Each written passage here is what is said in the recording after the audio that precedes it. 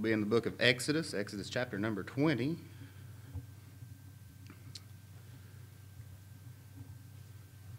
Exodus chapter number 20 tonight.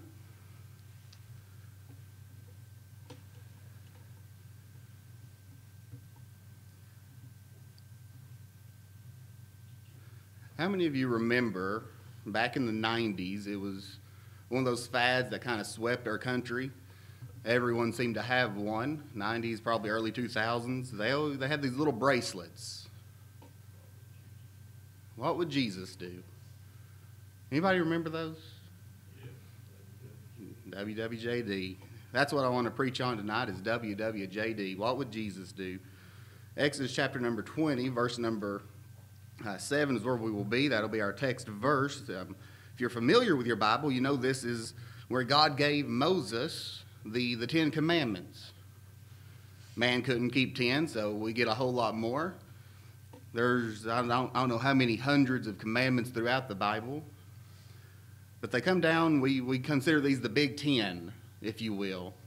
The only one I want to focus on tonight is, is verse number 7. The Bible says, Thou shalt not take the name of the Lord thy God in vain, for the Lord will not hold him guiltless that taketh his name in vain. Let's pray, Lord. We thank you for the day, Lord. Again, we thank you for the opportunity to meet here tonight, Lord. We thank you for our church, Lord. We thank you for, for the growth, Lord. I'm thankful to see. I'm thankful to see so many out here tonight, Lord, but I'm thankful for the, the, the spiritual growth of our church, Lord. I'm thankful that our, our people want to have, or the people here want a, a uh, desire to be here, Lord. They, they desire to see you answer prayer, Lord. They desire to see people saved and baptized and to, to follow you, Lord. We, I'm thankful for that, Lord. I do pray, Lord, that you'll be with us again tonight, Lord, that you'll fill me with your spirit, Lord, that you would give us all ears to hear, Lord, that you, your, your word says, He that hath an ear, let him hear, Lord. I pray, Lord, that you would walk in our midst, Lord, that you would speak to the hearts, Lord. I have, I have no desire to, to stand behind this pulpit to, to preach your word, Lord, without you. Lord, I can stand up here all day long and speak. And Lord, if you don't show up and if you don't build the house, Lord, if you don't do the work, Lord, when we're doing it in vain, Lord, we ask that you'll be with us, that you'll lead, guide, and direct, and we'll be sure to give you the praise, the honor, and the glory in Jesus' name. Amen. Now, I don't know. I wasn't really big into church during the 90s. I was just a kid doing what kids do. Uh, my grandmother took me to her church for a while. I'd sit back there and color in a coloring book. Imagine that, a colorblind guy coloring. That's great. But uh, all I knew is there was these bracelets everywhere. What would Jesus do? What would Jesus do? And I got to thinking, I know a lot of preachers, they were real against it back in those days for some reason. But I got to thinking, and this is, this is a subject I love to preach on this verse, Thou shalt not take the name of the Lord thy God in vain. So often, it, it, it amazes me that our society and our country today get offended at everything. I mean, we, you can say anything you want to, and then you're going to offend somebody. Homosexuality is wrong. Guess what? You just offended a whole lot of people. All these different things. You can say thing after thing after thing, and they get offended and yet they use our Lord's and, our Lord and Savior's name in vain on movies. When's it, when's it okay for Christians to get offended? When is it okay for us to get offended that they took, they're trying to remove the Bible verses off of the monuments in Washington, D.C.? How they try to remove prayer and the Bible from the classrooms. When's it okay for Christians to get offended? That's not the message tonight, but I think it's pretty good preaching. They get offended over every little thing, but they can take our, our, our God's name in vain. I, I hate to hear it. I, it bugs me every time I hear someone use those words. But you know what bothers me more is that Christians, more often than not, take the Lord's name in vain. So many times, I'm not talking about saying words we shouldn't say, I'm talking about the way we live. The Bible says, uh, the, the, even God said, those which are called by my name will humble themselves and do all these things. He'd heal our lands. The question is, what's that name? We call ourselves Christians tonight for one reason to be like Christ. And when we take that name, when we tell people we're a Christian tonight, and then we go out and live like the world, what are we doing? We're taking that name in vain. We're taking the name of Christ and rubbing it through the mud. And we see that so often When I say the word Christian or when you say the word Christian out in public, two main thoughts come to people's minds. One, it's either so overly used that it's lost its meaning, and, people, everybody's a Christian. You go knock on any door in Barbourville, guess what? They're a Christian. What church you go to? Oh, that, that one down the street. You mean this one? Yeah, yeah, that one. Who's the pastor there? Uh, I, I don't know. It's been a little while. Everyone you talk to is either a Christian or, or complete atheist. They don't want anything to do with it. No, thank you. The second thing, and it, it hurts my heart that this is a thing, but when we say that we're a Christian, you know what some people think? That means you hate people, that you hate the homosexuals, that you hate the, the Muslims. We've got to the point where the word Christian in today's society is a hate thing. They think we hate. The world right now is in this, I don't want to call it a hippie movement, but they're all about loving everybody. We're supposed to love everybody. We're supposed to love all the things that everybody does. If you love them, then you'll let them do it. Homosexuality, murder, all these different things, abortion. Well, if you love me, you would let me do this. Anyone ever heard that before?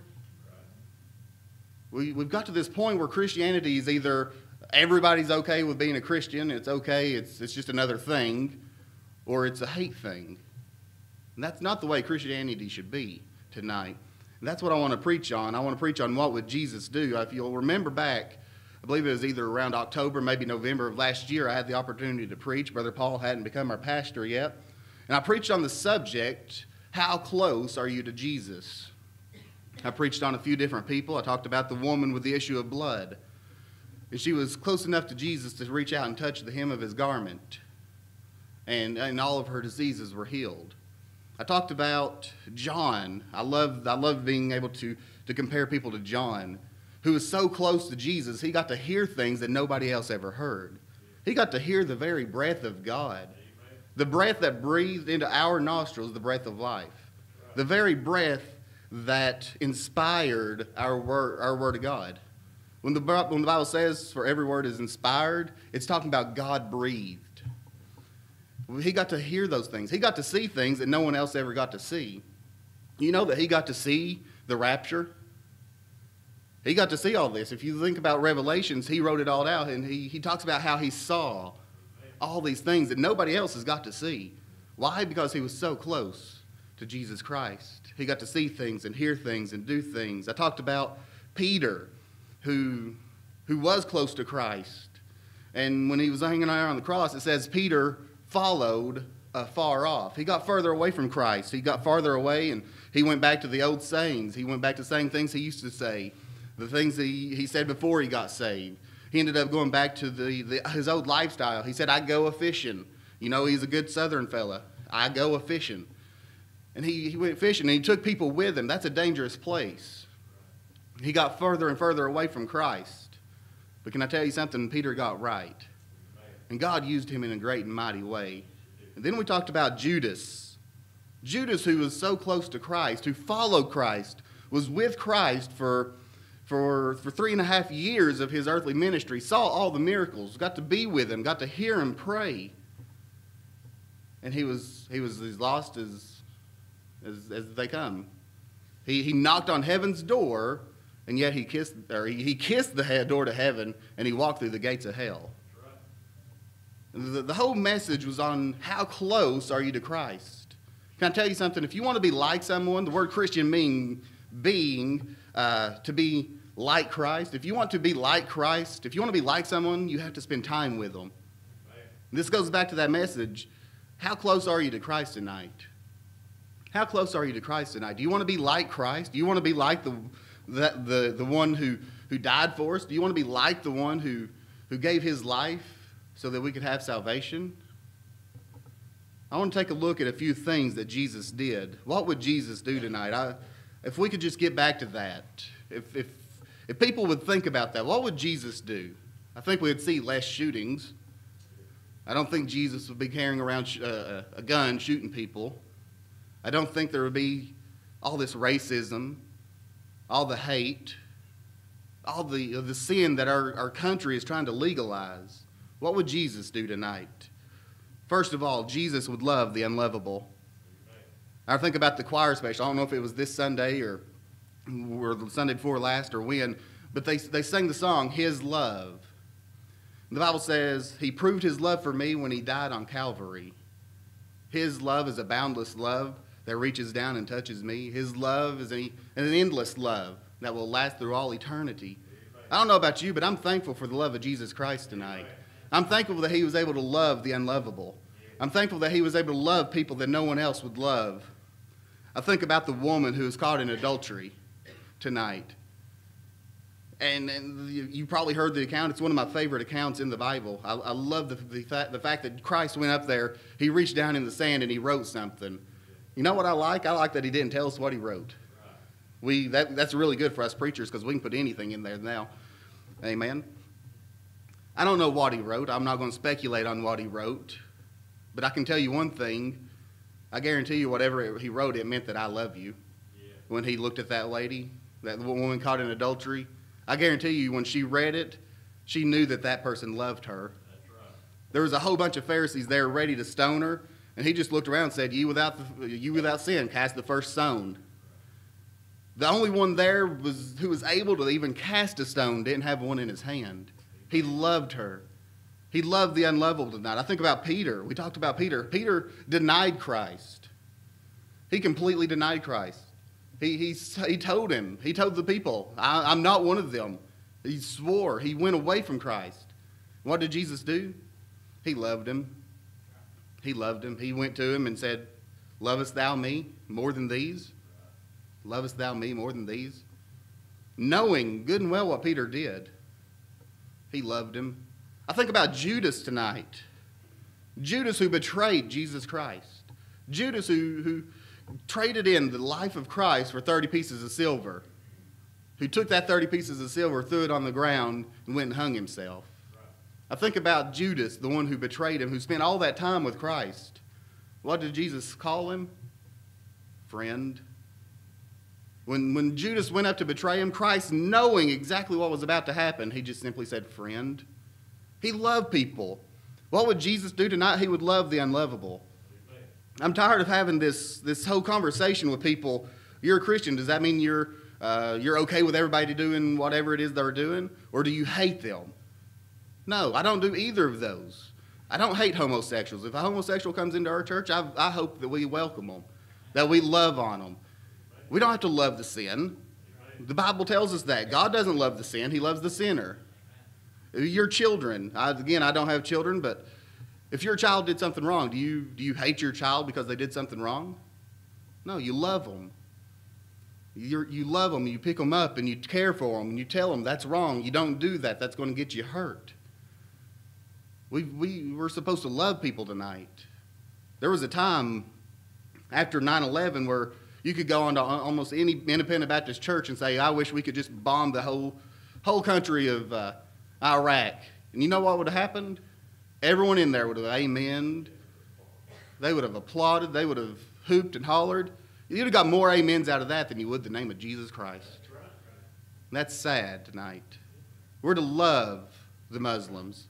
We're to love the homosexuals. We're to love the drunk on the side of the street. We're to love all of these people. That's what Jesus would have done. That's what Jesus did so many times. You know that every law on earth comes from the Bible, except some of these stupid ones. You know it's illegal to carry put ice cream in your back pocket in Kentucky? It is against the law to carry ice cream in your back pocket in Kentucky. Where that shows up in the Bible, I have no clue, but besides the stupid laws, Every law we get comes from the Bible. Every law can be summed up in two different things love the Lord thy God with all thy heart, with all thy soul, and with all thy mind. And the second is likened unto the first love thy neighbor as thyself. You know what Jesus did? He loved people. The Ten Commandments, we're sitting here talking about the Ten Commandments. You look at it, it's broken into two sections. The first section is all about God, and the second section is all about how we treat other people. Love the Lord with all thy heart, with all thy soul, and all thy mind. Love thy neighbor as thyself. When are we going to get back to the word, when, when people think of Christian, they think, that's somebody who will actually love me. There's a lot of people, as Brother Paul preached on Sunday night, there's a lot of people who, who are depressed, they're hurting, they're out there, and they don't think anybody cares for them. They're, they're ready to end their life because they don't think anybody cares. It's our, it's our job as Christian to show them that we care about them, that we love them. That's what we're supposed to do. Brother Lee even pre- or sang the song tonight, Joy to the World. He's been threatening to do this for, for a couple of years now, sing Joy to the World, because it has nothing to do with Christmas. If you look, if you read the words, there's nothing to do with the birth of Christ or, or Christmas time. But that last verse said, and the wonders of his love. I can stand up here and preach from now until, until, until Christ comes on the love of Jesus Christ and never get old. Do you remember the day he loved you enough to save you? Do you remember the day he loved you enough to reach down and pull you out of whatever it was you were in? I don't know about you. I wasn't a, a horrible kid. At least I don't think I was. But I had my fair share of sins. When I look back and think about them, I think of what Christ pulled me out of, how he loved me through all of that. Isn't it, isn't it, wouldn't it be great for us to show that love to somebody else? Yeah. To reach down and say, hey, let me, let me introduce you to someone who loves you no matter what. Amen. Jesus would love the unlovable tonight, but not only that, he would, he would help the helpless tonight. John chapter number 5, you don't have to turn there. John chapter number 5. I love I love the way the Bible's worded. I, I, think I've mentioned that a few times. I believe God did everything uh, decently and in order. I believe every word in our Bible is inspired. John chapter 5. I love this account as well. Uh, you know, I say that about a whole lot of stuff in the Bible. John chapter 5, verse 1. After this, there was a feast of the Jews, and, the and Jesus went up to the Jerusalem. Now there is at Jerusalem by the sheep, uh, sheep market a pool, which is called Bethesda, in the, or in the Hebrew tongue is uh, Bethesda, having five porches. In these lay a great multitude of import, or impotent folk, of blind, halt, withered, waiting for the moving of the water. For an angel went down at a certain season into the pool and troubled the water. Whosoever then after that after the troubling of the water stepped in, was made whole of whatever disease he had. And a certain man was there, which he had, uh, which had an infirmity thirty and eight years. When Jesus saw him lie and knew that he had been uh, now a long time in that case, he said unto him, Wilt thou make me whole? The impotent man answered him, Sir, I have no man. What a sad, sad state. 38 years this man laid there waiting for somebody to help him into the pool. Every once, one, one time a year, this, this angel or the season, an angel would come down, he would trouble the waters, and whoever made it into the pool first was healed. But he couldn't get there. And this, this I find it to be one of the saddest phrases in the Bible. This, the impotent man answered him, Sir, I have no man. 38 years, none of his family, none of his friends, no one there helped him to be healed. He has the potential of being healed of all his diseases, and not a single person cared enough to help. Not a single person cared enough to help him. When the water is troubled, uh, the impotent man answered him, Sir, I have no man when the water is troubled to put me into the pool. But while I am coming, another steppeth down before me. Jesus saith unto him, Rise, take up thy bed and walk. And immediately the man was made whole, and took up his bed and walked on the same day was the Sabbath. Jesus helped the unhelpable or the, the helpless. I love, I love the story about the woman at the well. We're right there at it. Uh, uh, I love the story when Jesus said, I must needs go through Samaria. He didn't have to go through Samaria, he didn't have to do any of that. But he did all that for one woman. I must needs go through Samaria. There was a lady there who needed salvation. He, I must needs go. He helped the helpless. He, he, he went out of his way. We live in such a, such a selfish generation where if you help someone, the first thing they ask is, What do you want? What do you want? Or most people won't even help you unless you're, you're offering them something. Hey, will you help me do this? Well, what's in it for me? No, sorry, I can't do that. Now, Jesus made it a, a thing to go out of his way to help people. He helped the lame. He healed them. He, he helped the blind. He helped the deaf. And I know we can't do those miracles today, but you know we can go out of our way to pray for people. We can go out of our way to give them a hand if they need it. We can go out of our way to be kind to somebody. We can, be, we can go out of our way just to simply be nice, you know, that thing decent human beings used to do. We can help people. We can, we can love people.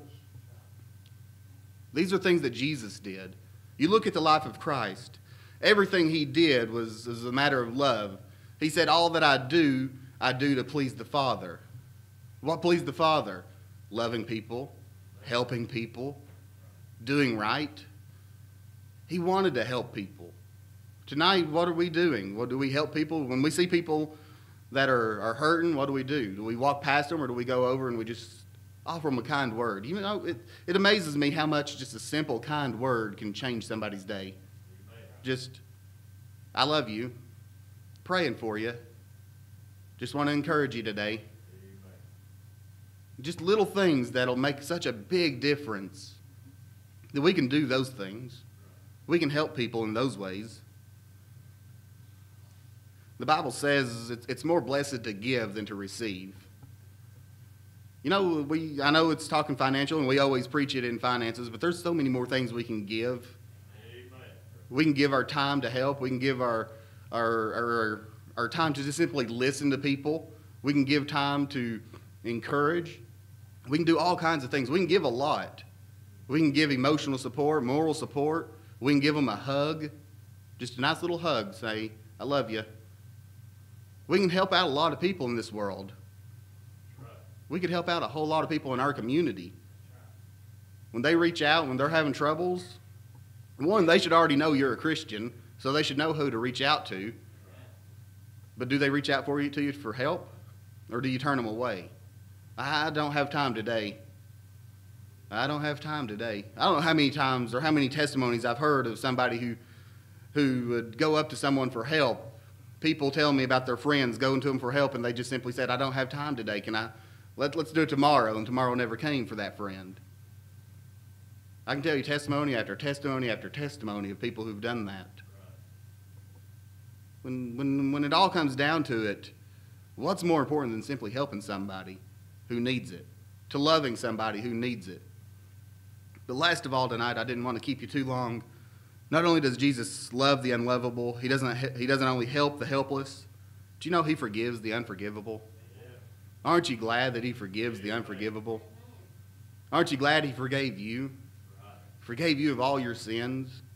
It doesn't matter if it was nothing more than just a little white lie or not. That sin was enough to put Christ on the cross. That sin was enough to have him suffer, bleed, and die for us to, to go through what he went through, knowing good and well what he was going to go through, and still chose to, to love us enough to forgive us. Aren't you thankful tonight? John chapter, or Matthew chapter number 18. If you do have your Bibles, I'd like you to turn there. Matthew 18.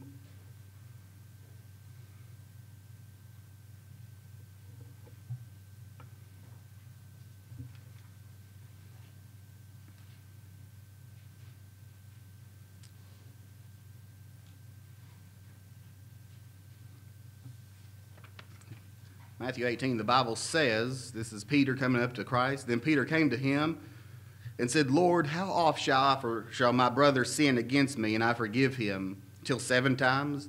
Jesus saith unto him, I say, not unto thee until seven times, but until seventy times seven. Therefore is the kingdom of heaven likened unto a certain king, which was which would take account of his servants. And when he had uh, begun to reckon, one was brought unto him which was uh, which owed him ten thousand talents. Before as much as he had not uh, to pay, his Lord commanded him to be sold, and his wife and his children, all that he had, in payment to be made. And the servant therefore fell down and worshipped him, saying, Lord, uh, Lord, have patience with me, and I will pay thee all. Then the Lord of the servant was moved with compassion and loosened him and forgave him the debt. But the same servant went out and found of his, his fellow servants which owed him an hundred pence. And he laid on him and took him by the throat, saying, Pay me that thou owest. And his fellow servant fell down at his feet and besought him, saying, Have patience with me, and I will pay thee all. And he would not, but went and cast him into a prison till he should pay the debt. So when his fellow servant saw what he had done, they were very sorry, and came and told unto their Lord all that was done. Then his Lord, after that had, he had called him, said unto him, O wicked servant, I forgave thee all that, uh, all that debt, because thou desiredst me. Shouldest not thou also have compassion on thy fellow servant, as I have had pity on thee? And his Lord was wroth, and delivered him to the tormentors, till he should pay all that was due unto him. So likewise shall my heavenly Father do also unto you if ye uh, from your hearts forgive not every one his brother their trespasses. What a story, what an account, what a parable here. This, this man who owed his, his boss, we'll, we'll put it in modern day terms, this man owed his boss a lot of money. Say he owed him $100,000 and, and he was going to sell him, he was going to get rid of him, put him in jail, sell his wife, do all these different things. And the, the man simply said, Forgive me. I will pay all that is, is all that I owe you. What what does this boss do? He, he simply forgives him. He says, Okay, it's, it's done. Don't worry about it. This man goes out, he finds his friends who owe him a little bit of money, 100 bucks, and throws him in prison over it because he won't pay his debt. How often do we do things like that? You know, the Bible talks about two different seeds. It talks about a lot of them, but we, we've been focused on one in our Sunday school lessons and in, in Hebrews on faith. But there's another seed in the Bible, another seed called bitterness. When we get that seed of bitterness and it gets planted down in our hearts, when we won't forgive people who've done us wrong, it grows. It's a weed and it sucks every bit of joy out of our lives. It sucks all the pleasure out of living. And that bitter, that seed of bitterness will grow into a plant of bitterness that will destroy your life. Jesus Christ, who, who had all reason to not forgive us, he had every reason in the world not to forgive us. All the sin that he had to become, all the sin that he, he became, he didn't just bear our sins. The Bible says he became sin that we may be made the righteousness of God tonight. He became our sin, the sin that hung him on the cross, the, son, the sin that uh, took his life, the love that kept him on the cross was enough to cover all of that. As Brother Paul said, love covers a multitude of sins. And there's no greater love than Jesus Christ tonight. He loved us enough to forgive us tonight. Have you done someone wrong? Has someone done you wrong? Why not get it right? Why not forgive them? Why not go and try to get forgiveness tonight? That's what Jesus would do. He forgave us. He forgave us from so many things. Think about all the things he went through tonight. Think about the crown of thorns that he wore. Think about the nails that pierced his hand. Think about the cat of nine tails that wrapped around him and ripped his flesh open. Think about the beating and the scourging and the mockery being placed on a cross completely naked in front of so many people, the humiliation. Think about all these things. Think about the fact that God the Father had to turn his back on his son because he couldn't look upon the sin. Jesus could have easily said, We're done. I won't forgive you. And we could have burned in hell for all of eternity. And yet, he forgave us and offers that salvation full and free for everyone, for anyone who wants to accept it tonight. It amazes me the love of God, the love of Jesus Christ. It's something I can't comprehend it. I can't comprehend letting someone go free for, for killing their son, and yet God lets us go free, not just free, but He offers us salvation, full and free. The love of God, it passes all understanding tonight. What would Jesus do tonight? I can tell you something. He would love the unlovable tonight. He would love them. He would help the helpless. He would go out of his way to help people. And he would forgive the unforgivable. If you're saved here tonight, guess what? You are unforgivable. You were unforgivable. I was unforgivable when he saved my soul. and yet He forgave us anyway. Have you been forgiven tonight? Have you asked Jesus Christ to come into your heart and forgive you of your sins? Have you, have you accepted that free gift of salvation? He paid for it. It was His to do as He wanted with it, and He gave it to us absolutely free. He paid for it with His life so that we could have salvation, that we could have life and have life more abundantly tonight. Have you been forgiven? Every head bowed, every eye closed. Well, this is Brother Paul Fredrick, and we just want to thank you so very much for tuning in by the means of these recordings that we're sending out, and I hope and pray that it's been a blessing to you. I hope that you will maybe take part in our worship services. The times will be at the end of this video. You can be able to view our church times and uh, also uh, we are going to be changing the 1st of April uh, back to 6 o'clock on Sunday evening. But anyway, we want to just thank you so much, and I hope and pray that God has spoke to you through this message today. If He has, we'd love to hear from you.